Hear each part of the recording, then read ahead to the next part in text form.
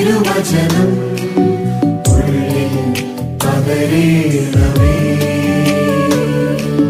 യേശയ്യ ഏഴാം അധ്യായം. ഇമ്മാനുവേൽ പ്രവചനം. യൂത രാജാവായിരുന്ന ഉസിയായുടെ പുത്രനായ യോധാമിന്റെ പുത്രൻ ആഹാസിന്റെ കാലത്ത് സിറിയ രാജാവായ റിസീനും ഇസ്രയേൽ രാജാവും റമാലിയായുടെ പുത്രനുമായ പെക്കായും ജെറൂസലേമിനെതിരെ യുദ്ധത്തിനു വന്നു. എന്നാൽ അവർക്കതിനെ കീഴടക്കാൻ കഴിഞ്ഞില്ല. സിറിയ എഫ്രായിമിനോട് സഖ്യം ചെയ്തിരിക്കുന്നു എന്ന് ദാവീദ് ഭവനം അറിഞ്ഞപ്പോൾ കൊടുങ്കാറ്റിൽ വനത്തിലെ വൃക്ഷങ്ങൾ ഇളകുന്നതുപോലെ അവന്റെയും ജനത്തിന്റെയും ഹൃദയം വിറച്ചു. കർത്താവ് ഏശയ്യായോട് അരുളി ചെയ്തു നീ പുത്രനായ ഷയാഷാബുമുത്ത് ചെന്നസ് അലക്കുകാരന്റെ വയലിലുള്ള രാജവീതിയുടെ അരികെയുള്ള മേൽക്കളത്തിലെ നീർച്ചാലിന്റെ അറ്റത്ത് വെച്ച് ആഹാസിനെ കണ്ട് ഇപ്രകാരം പറയുക. ശ്രദ്ധിക്കുക. സമാധാനമായിരിക്കുക. ഭയപ്പെടേണ്ട. പുകഞ്ഞുകൊണ്ടിരിക്കുന്ന ഈ രണ്ട് തീക്കൊള്ളി നിമിത്തം റസിന്റെയും സിറിയായുടെയും റെമീലിയായുടെ പുത്രന്റെയും ഉഗ്രകോപം നിമിത്തം നീ ഭയപ്പെടരുത്. നമുക്ക് യൂതായ്ക്കെതിരെ ചെന്ന് അതിനെ ഭയപ്പെടുത്തുകയും കീഴടക്കി തബേലിന്റെ പുത്രനെ അതിന്റെ രാജാവായി വാഴിക്കുകയും ചെയ്യാമെന്ന് പറഞ്ഞുകൊണ്ട് സിറിയായും എഫ്രായിമും റമാലിയയുടെ പുത്രനും നിനക്കെതിരെ ഗൂഢാലോചന നടത്തി. ആകയാൽ ദൈവമായ കർത്താവ് അരുളി ചെയ്യുന്നു. അത് സംഭവിക്കുകയില്ല.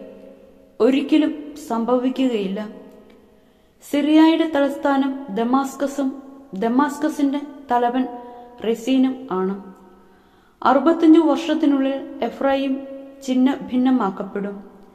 മേലിൽ അത് ഒരു ജനതയായിരിക്കുകയില്ല.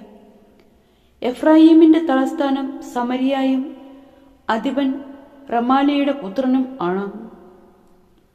വിശ്വസിക്കുന്നില്ലെങ്കിൽ നിനക്ക് സുസ്ഥിതി ലഭിക്കുകയില്ല. കർത്താവ് വീണ്ടും ആഹാസിനോട് അരുളി ചെയ്തു. നിന്റെ ദൈവമായ കർത്താവിൽ നിന്ന് ഒരടയാളം ആവശ്യപ്പെടുക.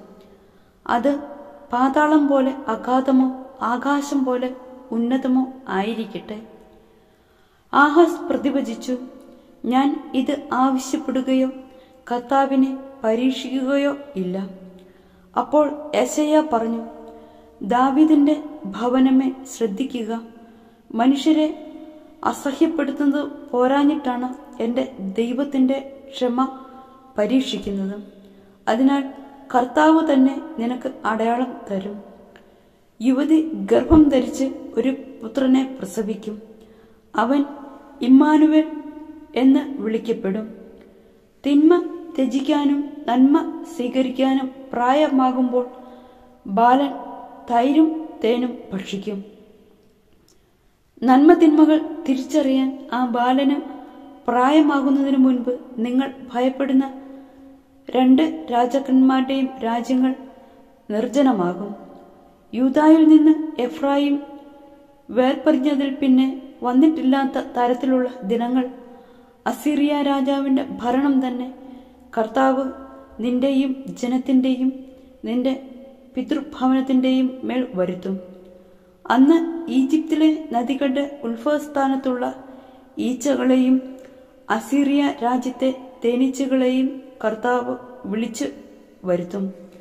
അവ ആഴമേറിയ മലയിടുക്കുകളിലും പാറയിടുക്കുകളിലും മുൾച്ചെടികളിലും മേച്ചിൽപ്പുറങ്ങളിലും വന്നു കൂടും അന്ന് കർത്താവ് നദിയുടെ അക്കരെ നിന്ന് കടം വാങ്ങിയ ക്ഷൗരക്കത്തി കൊണ്ട് അസീറിയ രാജാവിനെ കൊണ്ട് തന്നെ തലയും കാലിലെ രോമവും താടിയും ക്ഷൗരം ചെയ്യുകയും ആ നാളുകളിൽ ഒരുവൻ ഒരു പശുക്കിടാവിനെയും രണ്ട് ആടുകളെയും വളർത്തും.